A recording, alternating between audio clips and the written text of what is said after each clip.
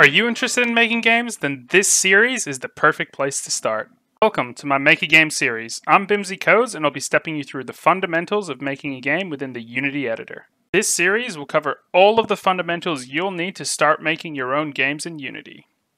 If you already have experience making games, then this course is still great for you, as I'll be sharing a lot of the information I've learned over the past 8 years of making video games, and once you've completed the final episode in the series, you'll have something to show for it.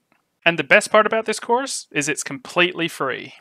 I have a bachelor's degree in games with a major in programming. I've been working in the industry for almost three years now, and I also have a year under my belt of teaching programming to a classroom of students.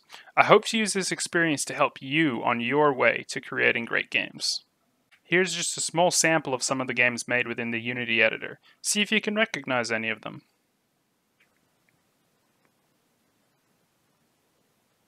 The game we will be making is a simple 3D side-scrolling game.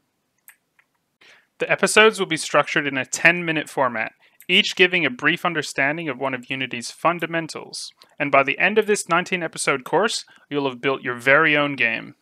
And don't worry, if you're looking for information on a specific topic, you can skip ahead to the video you need, and hopefully there will be plenty of information to get you on your way. If you already have Unity set up and are familiar with navigating through the editor, feel free to skip to episode 3 where we will begin creating the game. I'll be releasing the first 5 episodes straight away and the remaining 14 over the coming 2 weeks. Please subscribe to the channel and hit the notifications button if you're interested in learning with this free tutorial series. And I'll see you in the next episode.